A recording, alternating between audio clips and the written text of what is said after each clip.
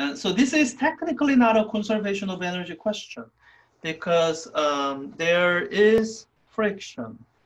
Uh, where is it? Slide along.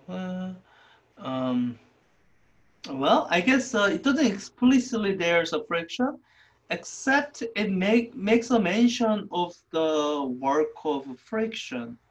Um, if it's frictionless, then it's zero. So just because the question asks it, um, friction must not be zero. um, and then, so, so yeah, it, uh, um, this is a good question to think through. And uh, the question kind of gives you an information at an intermediate point. And I have a feeling that's going to be an important point. So let me draw that snapshot. So there's going to be a point where the block is at point B, and it'll be moving at some speed VB. Why did that, they tell us that? What I would have to guess is um, as this block slides down, so this block starts out from some height.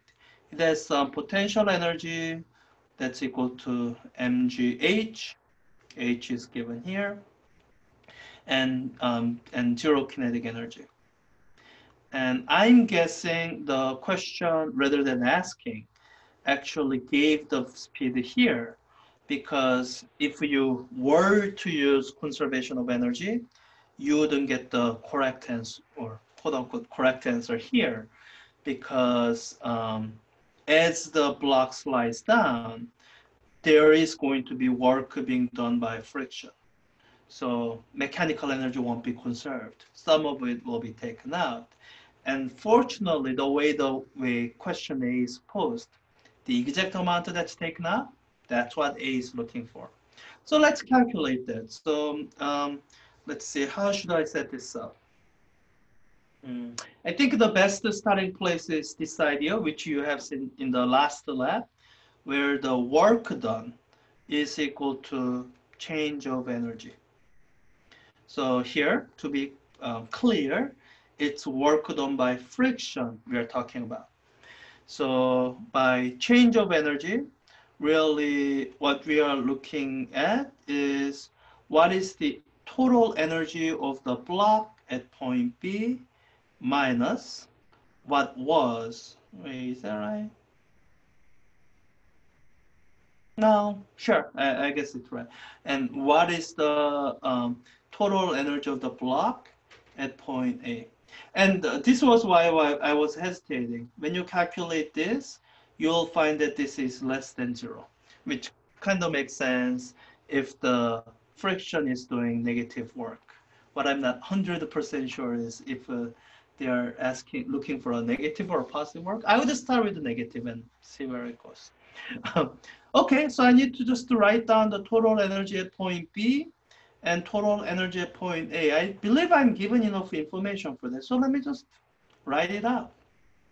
So total energy at point B, that's gonna be, oh, so let me set this as reference where potential energy is equal to zero. So zero potential energy, everything is in kinetic energy. One half m VB squared.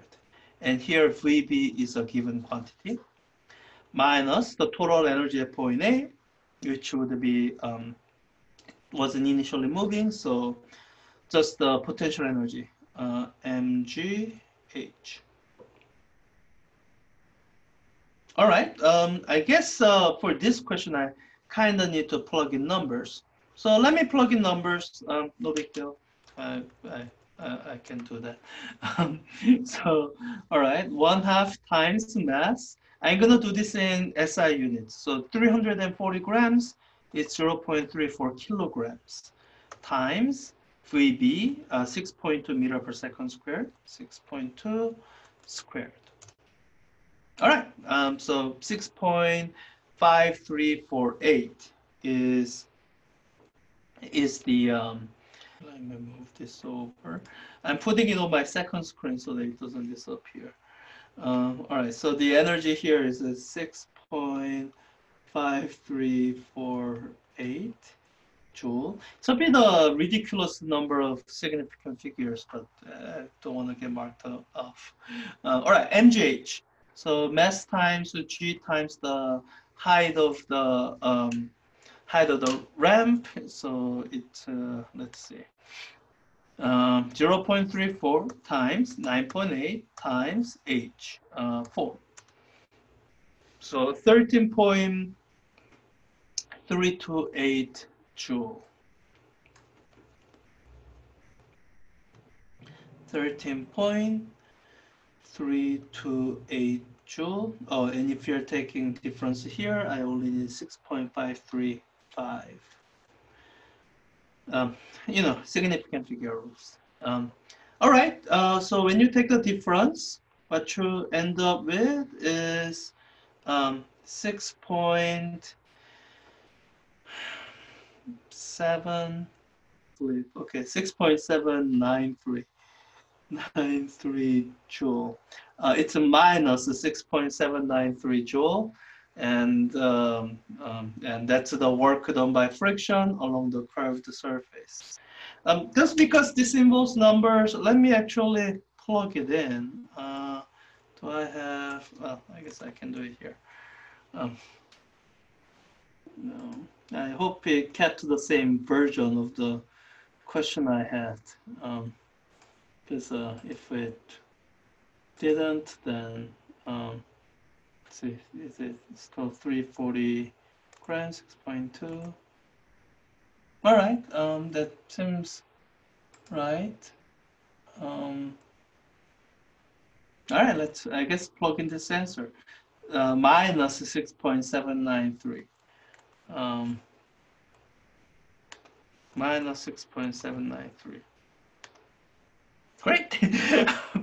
okay, so all right, and then it asks uh, what is the coefficient of kinetic friction along the horizontal surface? That's a bit of an odd question to ask. Hmm. So I guess uh, uh, this is where you kind of to use your intuitive problem solving, work forward, backward. So um, it's asking you for coefficient of kinetic friction. So you kind of do uh, free association. um, coefficient of kinetic friction is related to the kinetic friction force, which is given by coefficient times the normal force um, all right, so I guess I, do I need to know normal force? Um, well, I guess I do need to know normal force, but that alone doesn't tell me the coefficient because I actually need to know the friction force. Then I look at, okay, how do I figure out the friction force? Then I look back at the situation where I have a box that's moving at VB and eventually going, it's going to reach this position here with zero velocity and frankly zero potential energy because it's at the lowest height. So what I'm saying is that from here to here, there's a change of energy. And the change of energy must be equal to the work done being by friction. Work being done by friction. So, uh, oh yeah, so friction is gonna do negative work again, uh, which is fine. And if I have work being done by friction, well, work is defined as the applied force, so kinetic friction force, times the displacement. And here, because the kinetic friction points this way, that point this way, that explains why uh, this work done would be negative because delta x points that way, 10 meters. So, all right, uh, I think I have all the pieces I need. It's a matter of kind of just connecting them all together.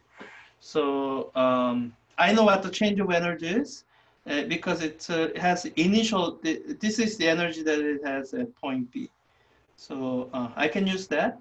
So this thing here is equal to minus 1 half mvb squared.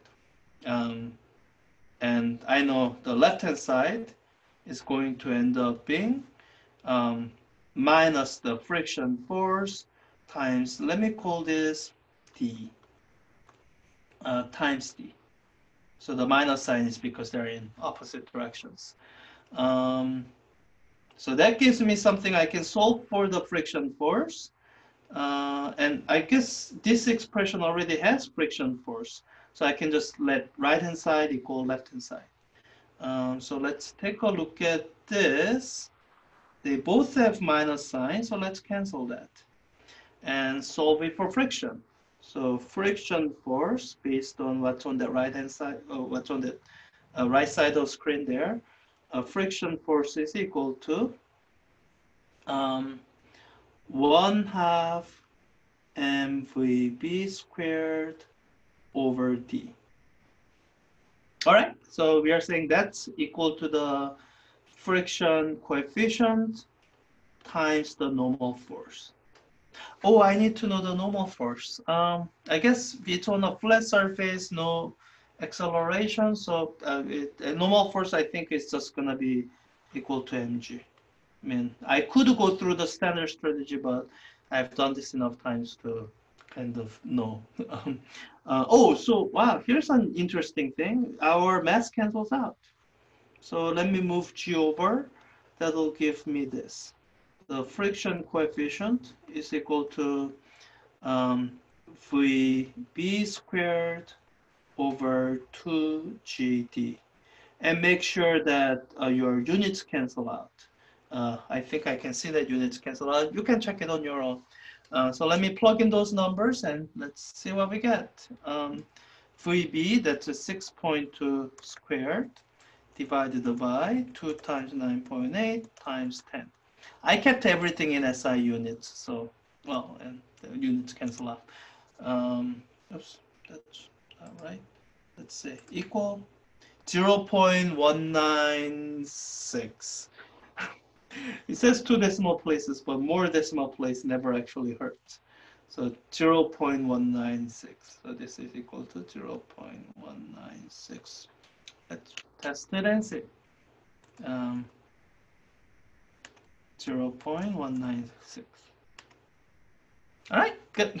So this is a kind of uh, standard, nice, clean question involving uh, it, it, it does involve conservation of energy because um, the way we write down this equation here, it only makes sense if we have some expectation that absent work done by friction, the energy should be conserved. That's kind of the subtext there. So this is I, I, I do think of this as conservation of energy question rather than a work question. Um, the, the way in which work comes in is that it's the mechanism by which mechanical energy is turned into something else and you can use uh, relationships like what is the work done by friction force to uh, get at the friction force itself.